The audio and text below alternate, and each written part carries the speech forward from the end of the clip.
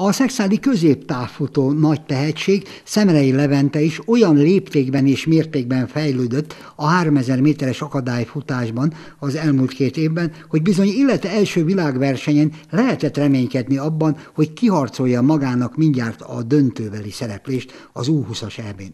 Levente ezt már azzal igazolta, hogy az előfutamot 9 perc 4 másodperces idővel megnyerte, a svédországi EB-n. A kérdés csak az volt, hogy a döntőben, amikor a vagányság a versenyzői rutin is kell bizonyos pozícióharcokban, mi lesz a fináléban az ebben még tapasztalatlan szexádi versenyzővel. Én nagyon sok tapasztalatot szereztem, de igen, jó mondta, hogy ezt a kettő futást nem lehet mondjuk össze egy kártyalapon megnézni mondjuk egy magyar élmezőnyel, mondjuk egy országos bajnoksággal. Az előfutam az nagyon tömött volt, mert igazából 8.55-től és 9.03-tól voltak körülbelül 8-an, de tudtuk, hogy nagyon jó erőben vagyok, nagyon sikerült az átmozgatás, és akkor abba bíztunk, hogy azért ott tudok lenni az első ötbe. A Gergő az mondta is, hogy úgy fussam le az előfutamot, mint hogyha meg szeretném nyerni, és hát elsőként értem be. Az előfutam végére még, ahogy mondja, ki is lassíthatott, jelezvén a döntőben még tovább javulhat ez a 9.04-es időeredmény, és javult is, több mint egy másodperccel.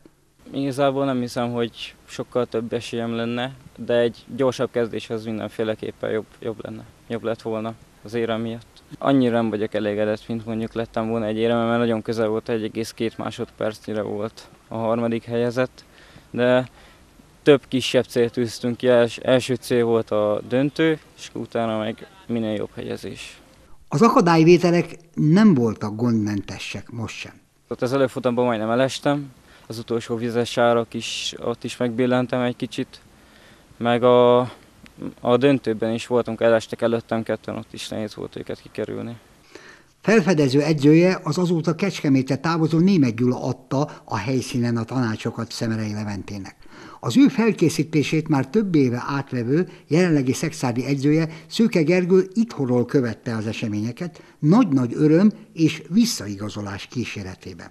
Titkon mi azt reméltük, hogy a Levente képességei elegek lehetnek egy dobogóhoz, mert ez a képesség nem csak a fizikális fölkészülés, hanem a mentális, illetve versenyzési képesség.